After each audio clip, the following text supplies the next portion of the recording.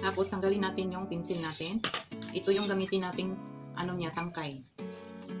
Ngayon guys, simulan na natin gawin ang ating rose flower.